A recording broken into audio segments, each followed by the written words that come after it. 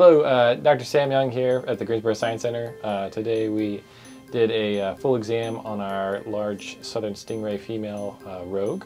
So specifically with uh, rogue, some of our challenges come from having to work in the water. Um, um, just her general size because she is quite large um, and uh, especially for this exam she is fully weaponized. She had a, a full six to seven inch long um, barb on her tail, so somewhat dangerous. So in preparation for this, um, we've been working with Rogue for probably a little over six months. Um, just training her to get used to human contact, uh, training her to swim into the acclimation tray where we're doing the procedure, and then into the pool, the smaller blue pool you guys see in the video. Um, this has been a lot of hard work and dedication from uh, a large number of the crew here. Gus added anesthetic uh, the, that we use as MS-222 to the water, um, and that uh, just provides for a safer environment for ourselves as well as Rogue. Um, just gently puts her to sleep um, for the 30 minute duration of bouts when we were doing our exams.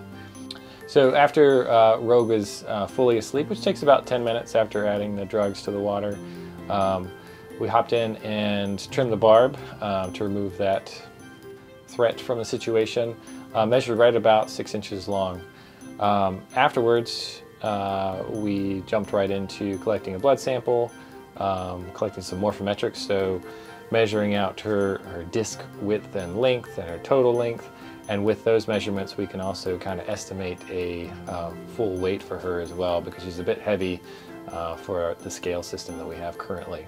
Following the blood draw, uh, we did a full body ultrasound, and with that we can look at all of her organs. Um, we especially focus on the reproductive tract with these growls, um, especially with the older females, they're prone to some reproductive disorders, um, so we want to make sure she's good and healthy.